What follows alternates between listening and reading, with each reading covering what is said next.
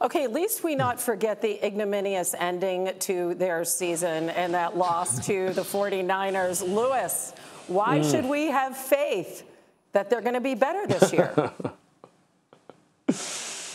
yeah, because I'm gonna be- I'm gonna have to believe Hannah that the coaching staff in particular will manage these end of game situations, end of half situations, situational football, something that we have just worn out talking about you know, on our airwaves and how important it is and how it is a difference maker between wins and losses in the NFL. Those games decided by seven points or less. I'm just going to have to believe that Mike McCarthy and his staff are going to be better in those situations and allow this football team to win those tight games and manage those situations better. That I, I just have to. Because the football team, I think, from a personnel perspective, has what it needs to compete at a very high level with any team in the NFL. It's those situations, though that they have to be better at, and I think they will be better at it. Otherwise, they're going to be looking for a new job. Yeah, otherwise, you got Sean Payton waiting in the wings. Okay. Uh, Teddy, That's do you think that the Cowboys are the favorites to win the division? Would they be your pick?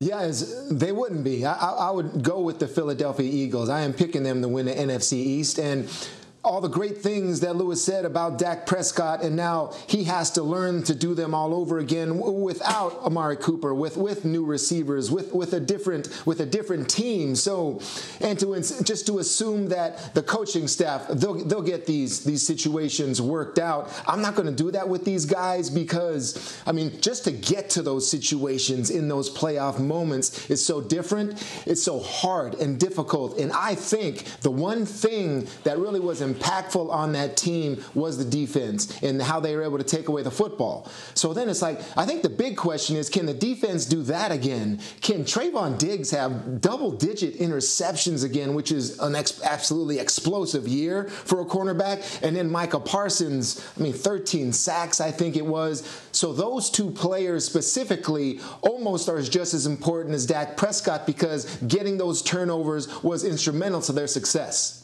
Listen, Micah Parsons was all over the field. He was a revelation. He did disappear, though, at the end of the season and in that final game.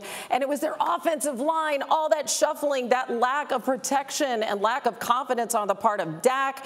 And then he began to slide. Listen, is that going to get better this season? Lewis? Yeah, that's a, that's a great. Like, I mean, those are all great questions. There's there's no question about that. And but I, I just I just do believe that. Look, the offense, the, the coaching staff in particular has remained constant this year. They didn't lose Kellen Moore. They didn't lose Dan Quinn. Mike McCarthy, he knows that he is he is going to come under fire if he is not able to handle this football team in situations that are just really that really lead to them winning football games much better than he did in 2021. I think they will get that done. I think they will go ahead and address some of these personnel issues and they will be able to compete with the best teams in the NFC and they'll be right there in the end. Hope always brings eternal with Dallas, doesn't it? All right. Thanks for watching ESPN on YouTube. For live streaming sports and premium content, subscribe to ESPN Plus.